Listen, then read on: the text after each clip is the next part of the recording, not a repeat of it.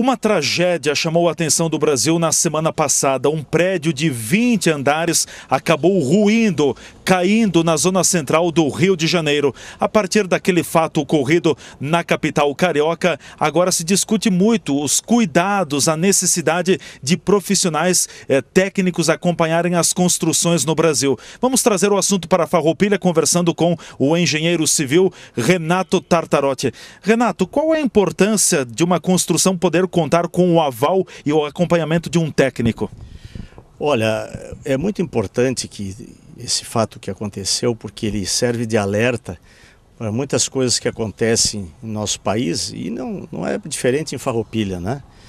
Muitas vezes uh, existem intervenções que são feitas nas edificações sem responsável técnico, né? Ou muitas vezes com o responsável técnico ou o, o proprietário dando muitas vezes mais importância para a opinião do pedreiro, do empreiteiro, do que do profissional habilitado. Né? E podem acontecer é, fatos como aconteceu no Rio de Janeiro, ou seja, um prédio, quando ele é concebido, existe todo um, um projeto que é feito, um cálculo estrutural que é feito para uma determinada situação. E se nós começarmos a interferir fazendo inúmeras alterações, modificações, essas modificações podem uh, fazer com que haja um desequilíbrio estrutural do prédio, que foi o que aconteceu no caso específico dessa obra do Rio de Janeiro, embora a gente não tenha maiores detalhes técnicos, mas pelo que se pôde ver, o que houve foi isso: várias intervenções no prédio, até o ponto de uma intervenção dar a gota d'água, né? No desequilíbrio estrutural e fazer o prédio vir a ruir, né? Aqui em Farroupilha, como está esta questão do acompanhamento, enfim, é bastante grande o rigor na construção civil? Olha, nós temos aqui algumas situações, às vezes, semelhantes com essas. Não no grau de intensidade, mas às vezes ocorrem. Existem eh, várias reformas que às vezes são feitas nos prédios, sem consulta aos responsáveis técnicos específicos da obra, né? muitas vezes proprietários que fazem essas reformas sem responsáveis técnicos. Mas no momento, graças a Deus, não tivemos maiores problemas né, nesse sentido. Mas é, serve de alerta. Né?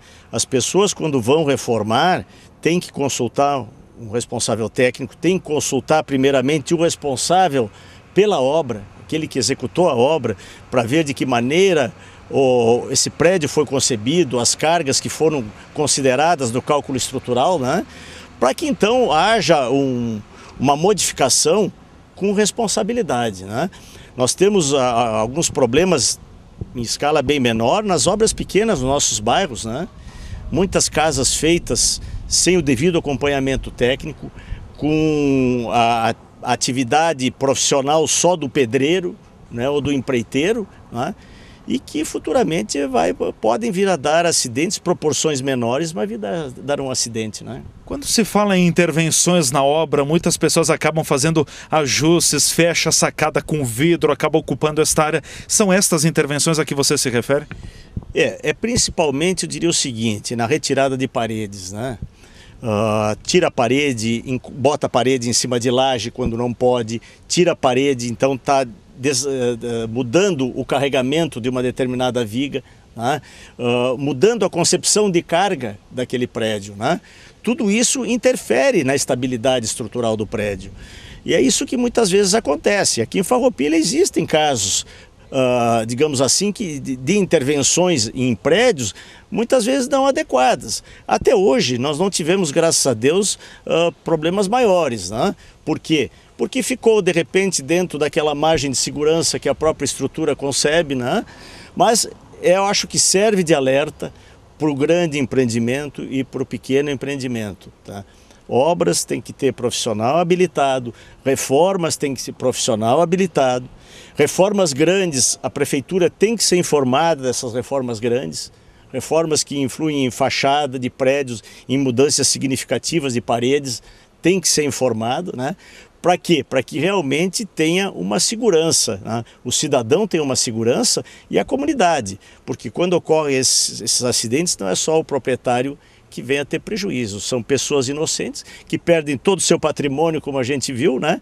por casos, casos de negligência. Né? Ou seja, para concluirmos, qualquer intervenção, por mais simples que ela seja, ela necessita de um aval de um técnico. Sempre. Sempre que houver alguma mudança numa edificação, primeiro consulte o seu responsável técnico. Se esse não, não estiver mais por aí, consulte outro profissional para que venha fazer qualquer alteração com segurança né? e não, não trazer esses prejuízos desagradáveis. Ok, obrigado, doutor Renato Tartarotti, engenheiro civil. O cotidiano continua com você nos estúdios da TV Farroupilha Jorge Fantinel.